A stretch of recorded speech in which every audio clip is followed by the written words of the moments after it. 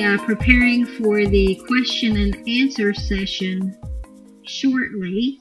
People can either ask questions through their microphone or they can type them through the chat.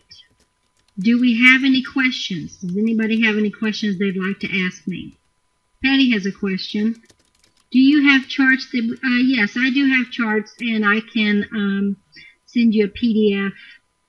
Uh, uh, I'll make a note to send you a PDF of the chart, and you can upload that uh, for both hands and feet. And someone else asked a question, when would you do both hands and feet at the same time? Most people schedule sessions for either the hand or the foot and those sessions are 30 minutes. I do have some clients that schedule hour sessions, and so what I do is I I do 15 minutes on each appendage. So there's 15 minutes on one foot, 15 minutes on the other foot, 15 minutes on one hand, 15 minutes on the other hand. Um, you just want to make sure you work both feet or both hands because as I mentioned before, um, organs are located, some organs are located specifically on either the left side or the right side. And so, in order to give a whole body um, session, you want to work both feet or hands. Somebody asked, is one is whoops, is one better than than the other? Hands better than feet? Not necessarily. It just depends. Some people don't want you touching their feet. They're they could have feelings of embarrassment. So they'd rather have you do reflexology on their hand. But, you know, if somebody has allergies or sinus problems, it's easier to work on their hands because the sinuses are located at the tip of your hands, your fingers. And so this is an easier to work. There's more room than on your toes, which are little tiny things.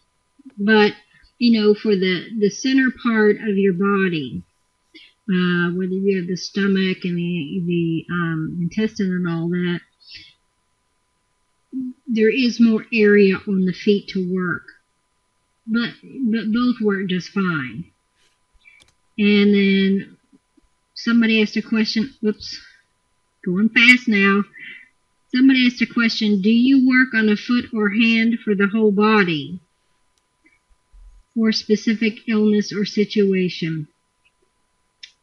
You can spend more time with a specific illness or situation, but you'd want to work the whole body. So you want to work the whole hand uh, or foot you wouldn't necessarily, uh, let's say somebody has uh, diabetes, you wouldn't necessarily want to just work the pancreas area on the hand or the foot. You'd want to work the whole area because it's a system and you're going to be making changes and you want all those changes to go throughout the system. Somebody asked, what after effects might you experience?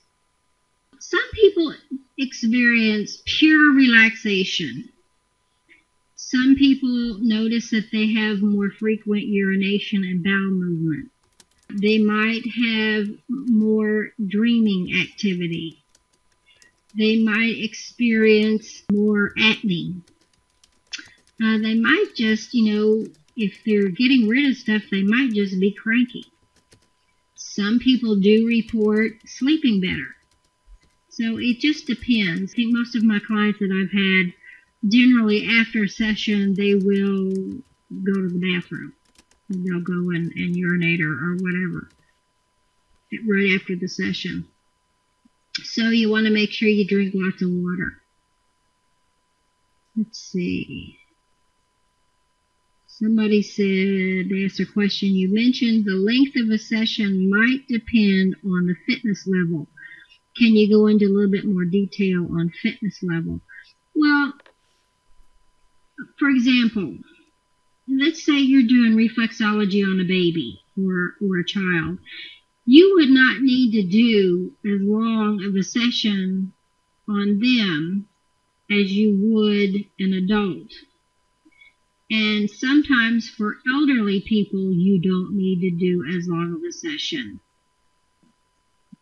and if they happen to have if they're very sensitive if you if you're if you're working on them and they have an area that's very sensitive they may not be able to sit long enough so you have to pay attention to the person's facial expressions and you know listen to them and decide how long you're going to do a session and somebody asked how many sessions do you need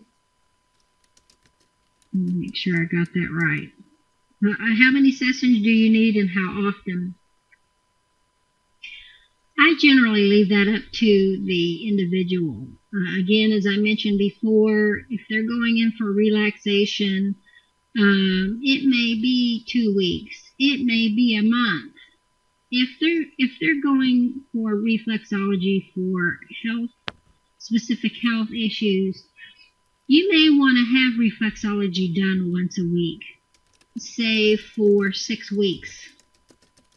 I, I generally leave that up to the client to decide, and you can you know, I mentioned in the in the Reiki, in the Reiki video about um, muscle testing. You can ask the uh, client's body when the next time you need to see them and they they will tell you their body will indicate you know when they should schedule another session. And somebody asked is this something i can do on myself or it's better to have done to me? You can do this on yourself. However it is more relaxing when someone else does it to you. But you know if if you want to you know if you're having constipation problems, I have someone, uh, a client that has some some bowel issues, and I tell them to to rub their hands when when that comes up. You know, you can incorporate that every day. As a matter of fact, if you have a chair that has those round rungs on them, you can sit there and do your feet like this on the rungs, and you'll be getting that stomach and intestinal area, which can benefit you if you have digestive problems. So you can do it both ways. You can do it for yourself, and you can have it have it done to you. It is more relaxing, I think, with anything when someone else does it for you and you just totally relax. But you will get benefit. Let's see, somebody else asked a question. Have you ever worked on someone with a specific complaint? And was it resolved or did they see great improvement? I am working with someone who came in, who has come in with a specific issue. And she was happy with the session and worked on her feet, and she's noticed an improvement and is coming back to see me. So I, I have had people who have experienced uh, positive results uh, from having reflexology done to them. Any other questions? How does, uh, here's a question, how does this differ from acupressure or acupuncture? Well, reflexology focuses, um, the organs are superimposed on the hands and feet. With acupressure and acupuncture, that's based on the meridian system. The idea is that our body is made up of an energy system. And one way that that energy flows is through the meridians or those channels in the body. And by stimulating certain points on those meridians, we can unblock chi or energy. Acupressure is the same thing as acupuncture, except there are no needles. You would still go to the same points. In acupressure, there's an acupuncture, there's like a thousand points on the body that have been mapped. While some of the points are, are they do overlap in the hands and the feet. The focus is different. Uh, I hope that answered your question. Did that answer your question? Okay, good. Any other questions? Let me see if I have a um, a chart, my acupressure chart.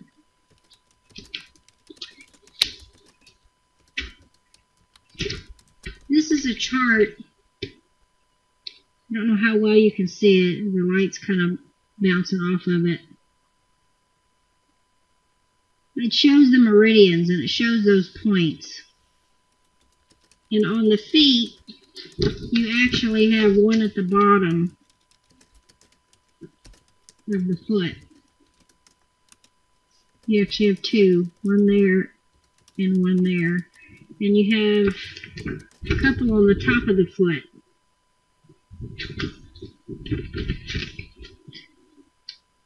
And the organs run through them, but they are not necessarily, it's just a different system.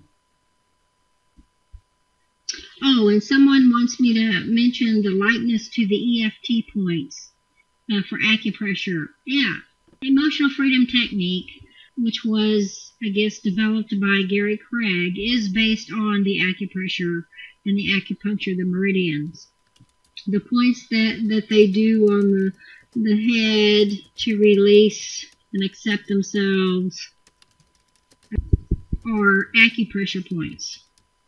You just add affirmations to make it more holistic. Did, um, was that a good explanation? Oh, and uh, also there are tools available for you out there. As a matter of fact, I bought this box. I don't have it here, otherwise I'd show it to you. It's by Kevin and Barbara um,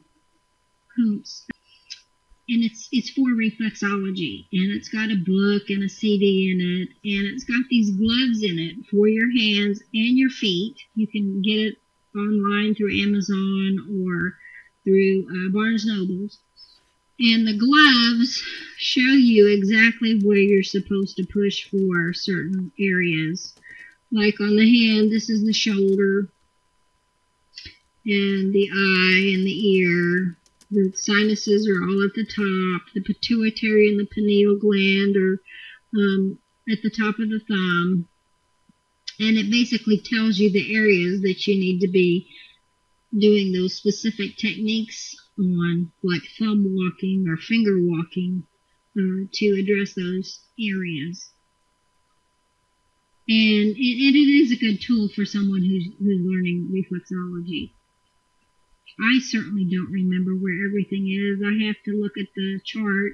And truthfully, you know, some things are so close to together that it's hard to tell exactly where someone might have um, an issue and and what it feels like when when you're working on yourself or someone else is it's kind of crunchy it's it's their calcium deposits and the little little tiny pebbles. It feels like pebbles or grains in your hands and feet, and you that's how you can tell that there's something going on in that area.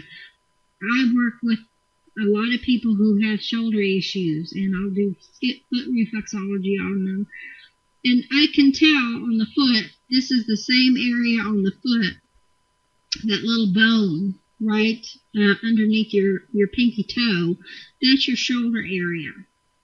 And I can tell if someone has a shoulder issue if it's kind of crunchy.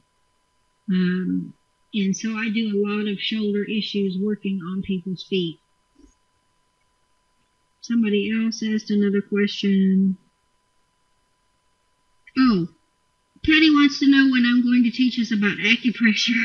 well, I'll have to get with you to to look at your schedule. I, I need to um, get um, slides together for you so we can talk about it. And actually, I was thinking about actually doing a live demonstration. There are 13 acupressure points in the face. So you can do facial acupressure and going through the affirmations that you would do for each point. That's a short exercise. Patty says way cool. So, if we don't have any more questions, I'm going to wrap this up. Any more questions? Going once, going twice, sold. There aren't any more questions, so we're going to end this presentation. And again, thank you all uh, for watching this, whether you're watching it live or later at some point on either Patty's site or my own. Go out there and make this your best year ever. Thank you.